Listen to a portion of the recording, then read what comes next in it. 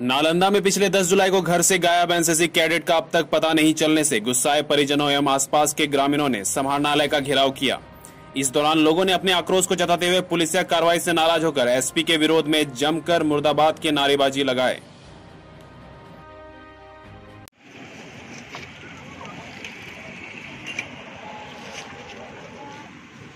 बात नहीं हम सर से मिलना चाहते हैं हम मिलना चाहते हैं।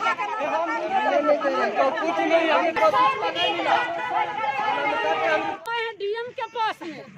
हम एसपी साहब के पास आए हैं। हमारा आज सात दिन बीत रहा है। लड़का गुम है। लड़का का नौकरी देखे हुए एनसीसी कैले लड़का। लड़का का गायब कैले है। थाना पर भाई सदर हम पहुँच रहे हैं। कोई कार्रवाई नहीं हो रहा है।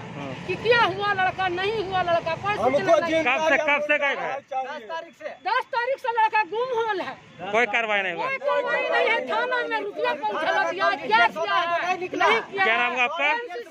लड़का का है सत्रह उनको से मिलना चाहते हैं हमें। थाना में इन्फॉर्मेशन दिए थे हमको भाई जिस समय गुम हुआ है। उस समय हम दिए हैं। हमारा कुछ नहीं सुनवाई। सर बोले यह बात कि बाबू तुम भी खोजो हम भी खोजते हैं। तुम्हारा भाई गुम हो गया तुम भी खोजो हम भी खोजते हैं। मैं तो पता लगाया सर कि ऐसा ऐसा मामला में मेरा भाई पता हुआ है। कैसा मामला पता यह हुआ है सर जी कि मुन्नी लाल का दुकान है सहोखर में। वहाँ पर कुछ झंझट हुआ।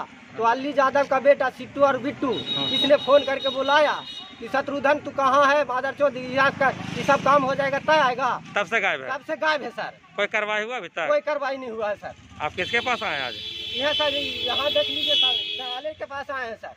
तो अभी तक मिला आपका? नहीं मिला है सर।